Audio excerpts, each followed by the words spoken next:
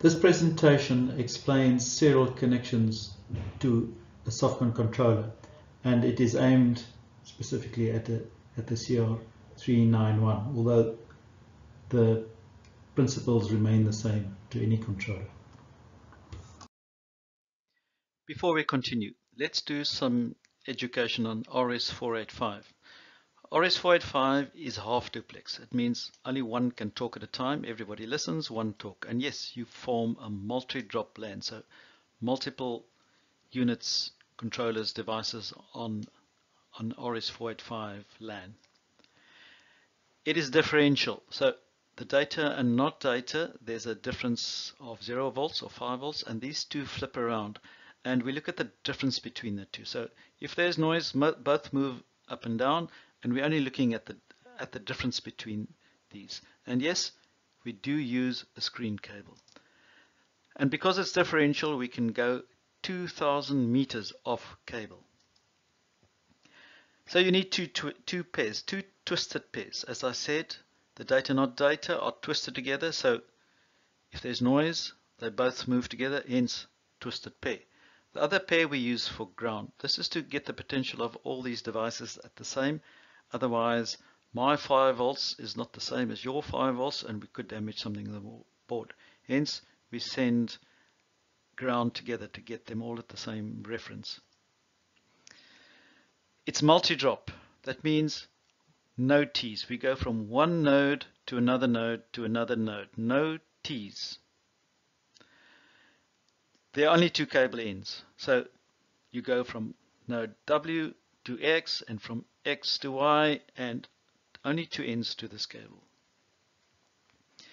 Screen. We must screen this cable to keep noise out, but only screen at one side. There might be that earth is not the same at, at two points and we don't want current flowing because there's a there's a potential in earth. So do not loop through. Here I've now shown we earth at node W, we earth at node X and node Y, but not at node Z also. So each of those segments, one earth, so not looped through. The RS485 data, not data, are normally floating, so everybody listens and only one transmits at a time. So we need to separate, we need to pull these cables up and down. The data up to 5 volts and not data down. Otherwise, they would float and they might then pass cross one another and then we are going to see data which is which is incorrect. Now on most PC boards there are links to pull up and pull down and yes you only need, you must only do this at one point otherwise the load is too high and preferably in the middle of the cable.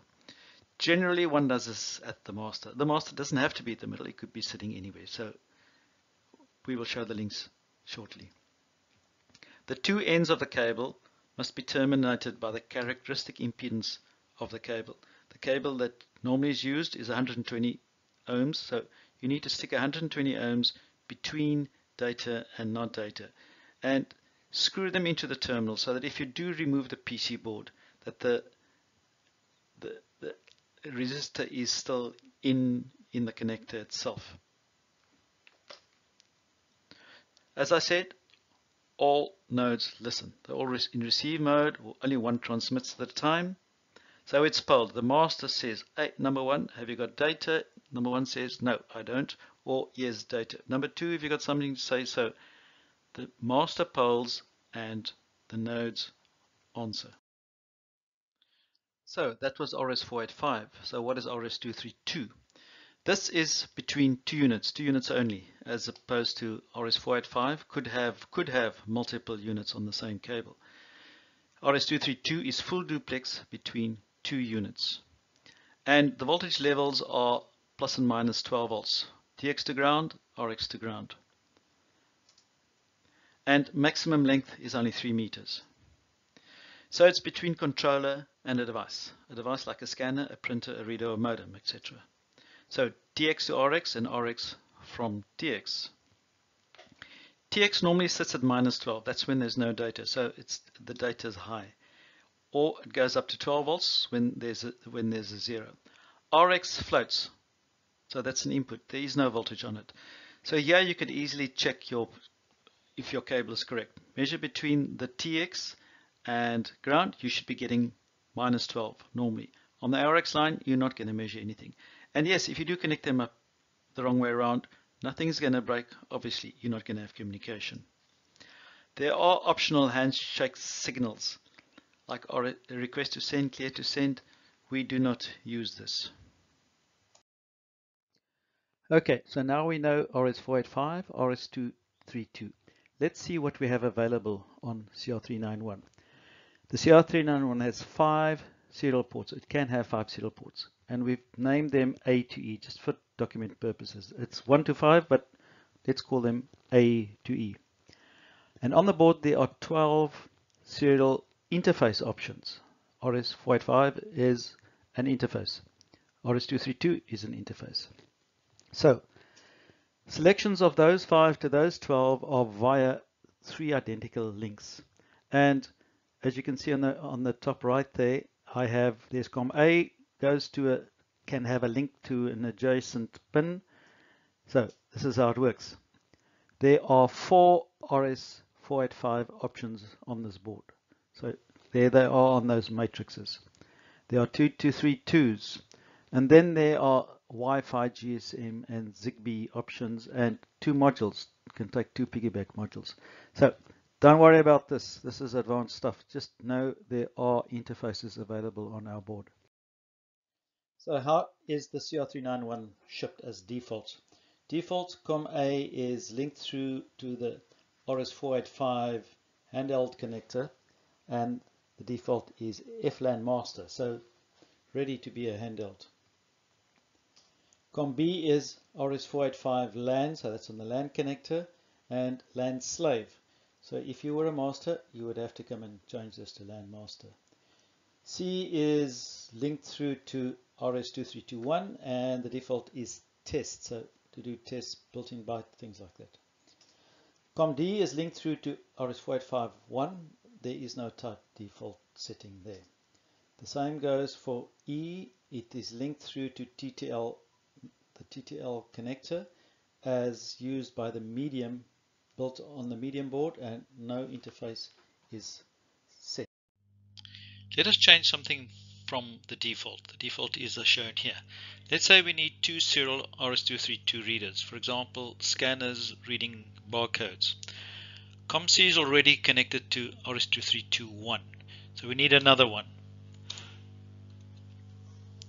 The only other RS232 on the board is RS2322, so that could either link to COM-A which already is handheld, linked to handheld, or it could go to B, that already is linked to LAN, slave LAN, or it could go to D, COMD. Now that's already linked to RS4851. So let's say we're going to move it to COMD. So that's where we want COMD to RS2322.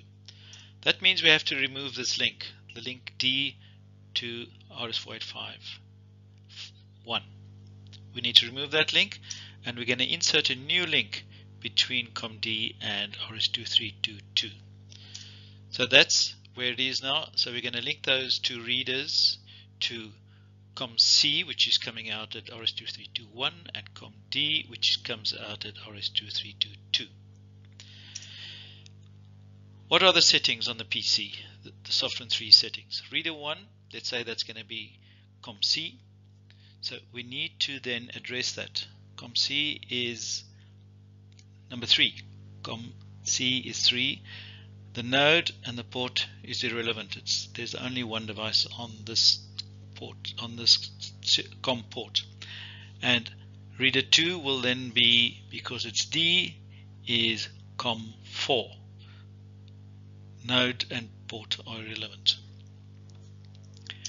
We need additional setting on for the controller to tell it to link those readers, those serial ports to readers. So the serial ports, I've gone to that controller, that appropriate controller. So COM 3 and 4, that's that's COM C and D. I'm that's I'm linking that now to reader 1 and reader 2. That's the reader reference. So I'm saying controller 1 your serial port 3 is type reader there's the baud rate and the bit type which obviously must match the setting of the scanner and that is reader 1 COM4 serial 4 is also type reader again baud rates and bit types and parities matching and that is reader reference 2 so that becomes reader 2 and that's as simple as it is